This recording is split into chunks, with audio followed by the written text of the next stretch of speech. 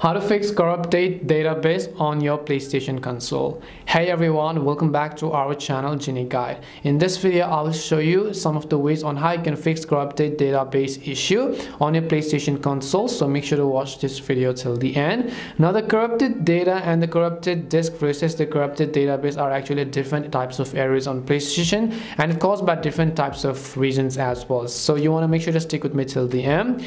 The very first thing you want to do is you want to simply navigate to settings and once you navigate to settings you want to scroll down and look for the option called storage and then just select storage. Here choose the option called system storage and over here you'll find the option called saved data. Currently you can see it's occupying more than 351 megabytes of my storage. So just go to the save data option. Once you do you will be able to see a list of saved data over here. So it could be some of the games data that could be corrupted. So if it's let's say it occurring with FIFA or Doom or eFootball or YouTube just go ahead and select it over here. Once you select those data just choose this save data and then delete it. Just press the options button to delete it. Tap on the delete option to do so and try to again reuse those save data again after going ahead and then opening up the game. And after that come to media player. Again press the options button. Choose the option called delete. Choose the option called delete again from the bottom of the screen after selecting them. And once you've done that most likely this would definitely solve your problem.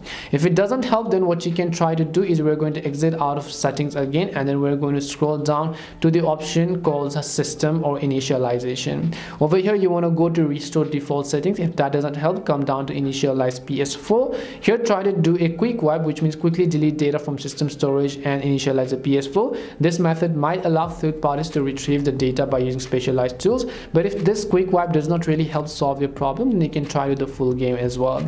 If that doesn't help the other thing you can also try to do is go ahead and check on which game you're really having the database issue. And after you go to that game press the options button try check for update. If there's an update then that's perfectly fine. If not then just delete the game and then reinstall them again from your playstation store.